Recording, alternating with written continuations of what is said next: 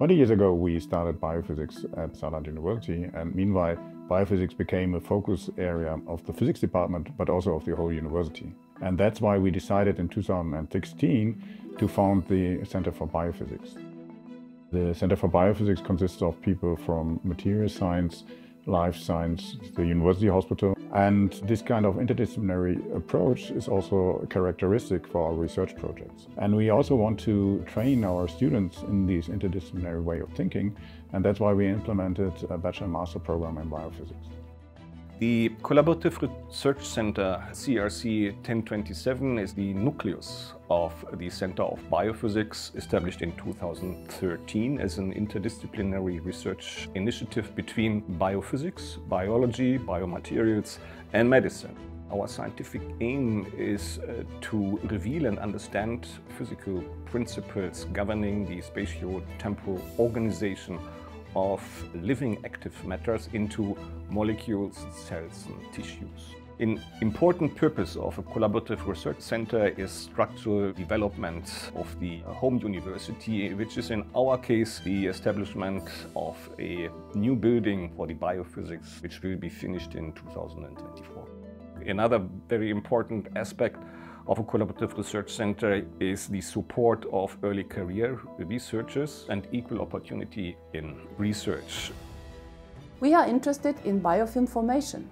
To study bacterial adhesion, we use modern surface science techniques such as photoelectron spectroscopy, ellipsometry, scanning and transmission electron microscopy or atomic force microscopy.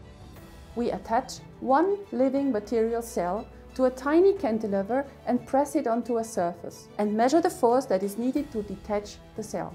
The proteins that are part of the bacterial cell surface mediate adhesion, type and density of these proteins determine the adhesive strength of bacteria.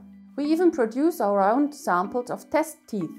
Our colleagues from the dental clinic test our artificial teeth and compare the results with real teeth as well as the impact of plant extracts or apatites. I'm in the Center of Biological Physics and I'm interested in cooperative effects. And we'll be studying are DNA, DNA interactions, symmetry breaking in the embryo, the incorporation of non-canonical amino acids during transcription translation. And I think as physicists and at this interface in the center, we have sort of all colleagues which understand and can help in what we're doing, technically speaking, but also in terms of ideas especially with the new building that we're going to get, I think we can make a very strong team and sort of attack these kinds of subtle problems, which on the long run will be extremely fundamental and important. We are here at a collaborative research hub between Saarland University and the Leibniz Institute for New Materials in order to tackle biophysical questions. We're specifically interested in the cytoskeleton. For example, we look at the actin cortex, trying to understand how the mesh size, which we look at using electron microscopy, alters cellular mechanics. Another example is where we look at how vimentin influences actin polymerization in stress fibers and here we really have the good possibility to use interdisciplinarity where we can go really from the far end of biophysical simulations to really look at single molecules up to having real cells from real patients coming from the clinics. And this is an opportunity we are really happy to use. We are also happy that we are able to take these tools which we use to really tackle our scientific questions and bring them directly to the student so that they can have a very early hands-on experience and try these tools. During my bachelor thesis, I was already working in a research group here and I feel that especially or even for bachelor students, you can really already see what, uh, how the research is conducted here. I think it's really exciting to use very expensive and very new equipment, even for bachelor student. I have now experience with different types of microscopes and you are able to look into very different research fields.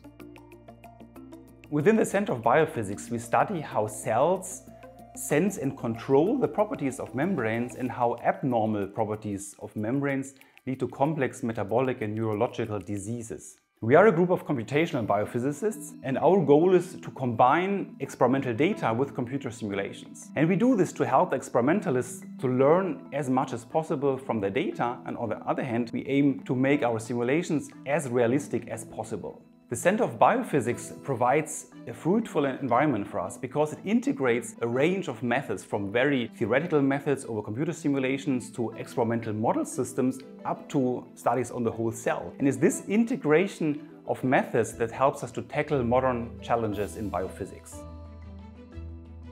We are in the Center for Integrative Physiology and Molecular Medicine our main question is how can the immune killer cells kill the um, tumor cells efficiently?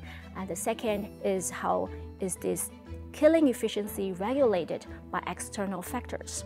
So to address those questions, we need not only the expertise from the immunology, but also it requires the expertise from many different fields like the theoretical physics and also bioinformatics and material science.